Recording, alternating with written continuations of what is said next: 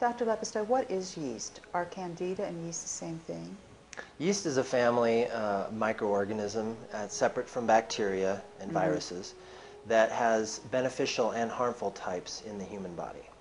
And so candida is one of those that's a natural uh, occupant of the digestive tract, Mhm. but it has the ability to become pathogenic when it overgrows. So there is beneficial yeast, so people shouldn't be afraid to have yeast. That's right. Certain yeasts, now candida in a proper population is, is a natural beneficial part of the digestive tract.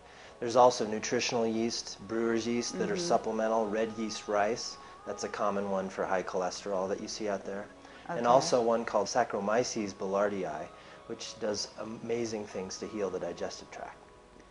So candida is natural. It's a natural yeast. Is that what you're saying? It's just when it becomes an overgrowth. It's naturally occurring in the human digestive tract, yes. It's just that when it becomes an overgrowth. Then it, become a, it becomes a problem, yes, because in an overgrowth situation, it produces about 32, 32 known toxins to the human body. Wow.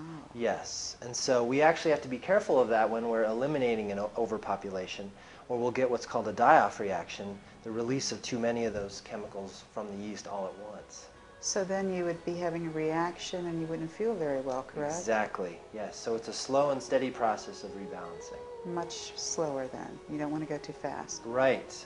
And the, that's a risk with the pharmaceutical agents because they're such Oh. a sledgehammer effect. Yes, they kill the yeast off, but oftentimes in such a vast amount, people don't feel very good. So they feel like they're going through a healing crisis, correct? Exactly, yes. And we want to do that at a pace the body can maintain.